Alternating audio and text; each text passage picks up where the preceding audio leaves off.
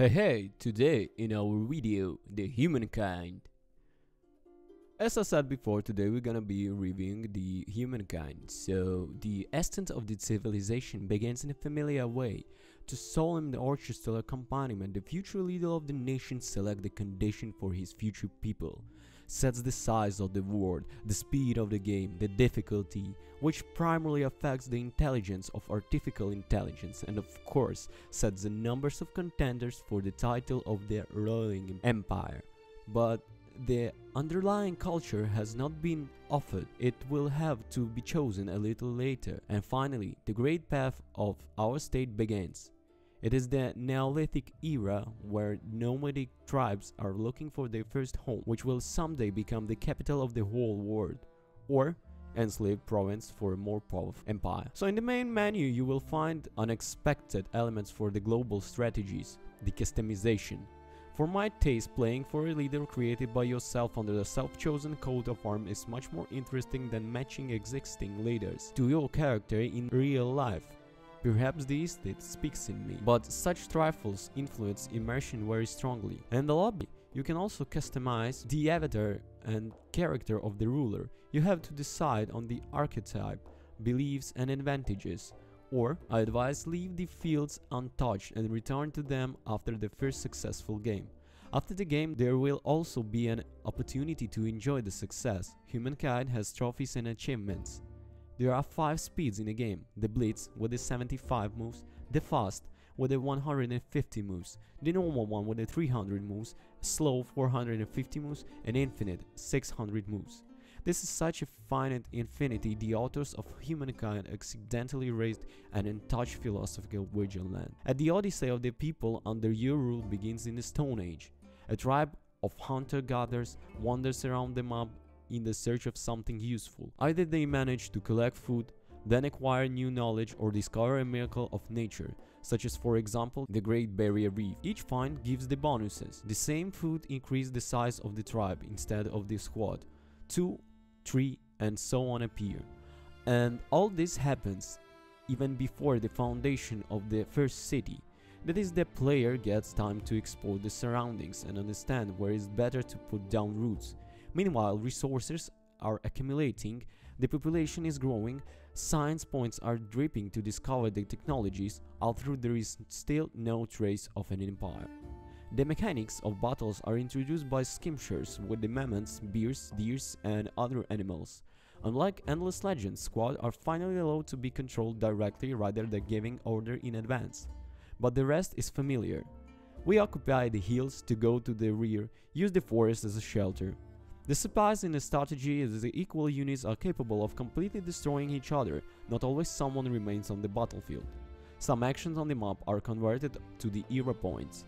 For example, to say goodbye to the Stone Age and enter the Ancient Void you need to increase the number of your people to 5. Explore 10 points of scientific interest or kill 3 animals, everyone decides for himself which way is more convenient, and then the choice of the first culture takes place. This mechanic is important features of humankind. At the beginning of the each of the six years, the game offers a dozen factions with a unique bosses. Let's say Mycene use enhanced fortification and missteps, powerful melee soldiers. Egypt in a strong production, Babylon has in a 5 mathematicians, and Harappa gets a hard start in agriculture and therefore in population growth. If you haven't defined a site for yourself, it is better to rush the start of era as soon as possible because the culture occupied by the rival can no longer be appropriated. After the end of Antiquity, having collected enough era points, you open the classic period and so on until the information era. Moreover, the choice of a new culture does no negative that benefits the previous one. You can start building an empire from the same Harappa, then switch to Rome or Greece, but the initial increase in food will not go anywhere. Just the others will be added to some advantages. On the other hand, no one bothers to abandon the chain of cultures and stay at the same stage of development. If its bonuses are enough for you, there are more than 10,000 such combinations available in the game. Humankind is all about the stability. Each era you have a difficult choice for which civilization to play. Of course you can stay the same, but more often it's more interesting to combine development on the go. Path with the humankind through the eras was quite unexpected. In the name tribe turned into Babylonians. After it upgraded into Greeks, and then the inhabitants suddenly realized themselves French. Realism in the game is not to be expected. My development is still not so shocking because by era of the industrialization it was possible to turn into the Zulu while making the choice between them and the Russians. The latter, by the way, easily involved in the USSR. The main thing is to get the present. The head is spinning from the such transformation, but there is definitely a charm in this. The choice of cultural feature, in fact a nation, will depend only on the current situation on the map. If in the previous era you peacefully pumped sins and rebuilt its cities, then by the next one you can easily choose a warlike civilization and attack your neighbors, or pick up such a nation that will more successfully fight off the attackers thanks to a strong unit or building. Adaptation is the main thing when choosing further development between the eras. It is unlikely that the states bordering on you will be happy about success in the scientific field from period to period, so do not forget about the defense and the development of perks that allow you to fight. Civilization players are doomed to follow the beaten path. You hire scout, another scout, process cell and constantly unlock the same skills from the party to party. Each nation builds the same buildings and the number of combinations playable in the online game is rapidly decreasing from the version to version. In humankind, you'll never know which culture you will end up with. Even if you have a plan, your opponent will always be able to take away the desired nation by entertaining the era one turn earlier.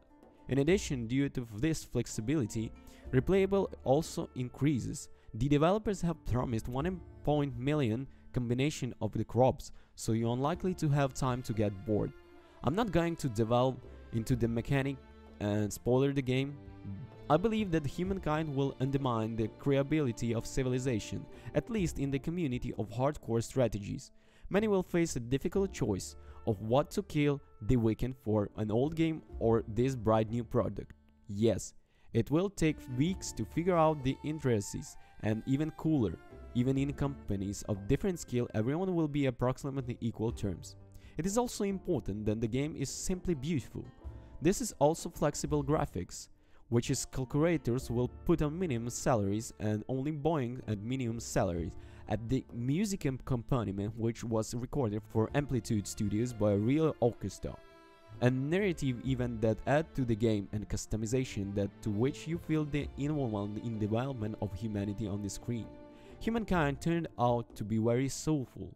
I don't know how cool it will be in the hands of professional strategists and I'm not going to say about the current balance for this you need to test the network games, but I feel that this regard, the standard civilization which has to be finished by the hand of the modders will also remain far behind.